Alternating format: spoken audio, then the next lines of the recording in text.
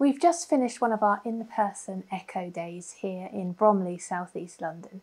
We had delegates from all over the world this time, from the United States, Mexico, Switzerland, and of course from our home turf in the United Kingdom.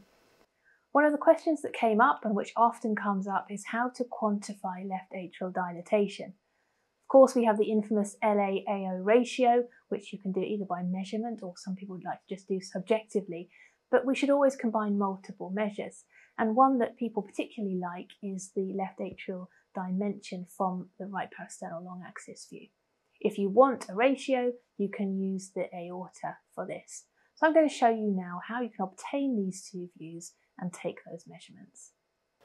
From your right parasternal long axis view, you want to try and optimize this for the left atrium. So we normally have our left atrium almost off the screen here. You want to centralize it so you're going to do that by just pointing a little bit more towards the dog's head or the cat. And then you might find that you end up in this situation, which is part of the cardiac cycle is missing. You don't always notice because your eyes are very good at filling in the gaps, but if I just freeze this, you'll see that as I scroll through my frames now, part of the cardiac cycle, I'm completely missing the left atrium. Um, I could still measure it, but you want to just be mindful of that because often it will completely obscure the point. So in this frame, for example, I'm in uh, atrial systole, so it's smallest, but I want atrial diastole to measure from, so I'm scrolling forward where the left atrium is at its biggest, and oops, it's gone. I've missed it completely. So you just need to be very, very careful that you are not losing the left atrium, either with respiration or just cardiac movement. So you might have to experiment finding different windows to see which is the best one.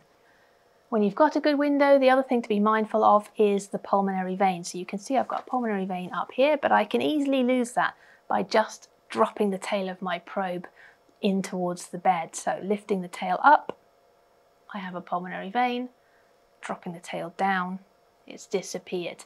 It's good to have landmarks every time, so I'm going to make sure I have that pulmonary vein in my view every time.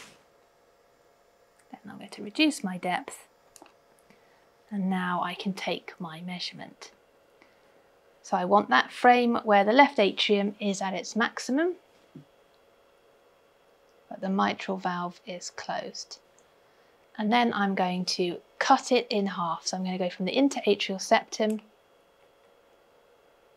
here at its thinnest point usually.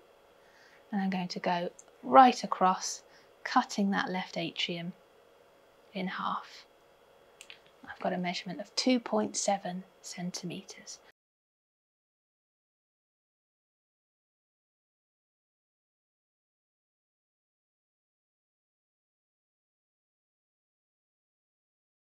Now if I want to get a ratio I can just twist my probe and switch to my outflow or my five chamber view, bringing the aorta in.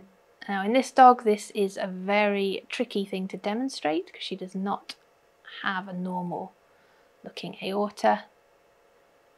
So I will show you on a normal dog, but just so you have the idea. Right now we're in diastole, so the aortic valve leaflets are closed. I'm going to keep going forwards and then wait for that moment when they open. So there we go. So systole is beginning now.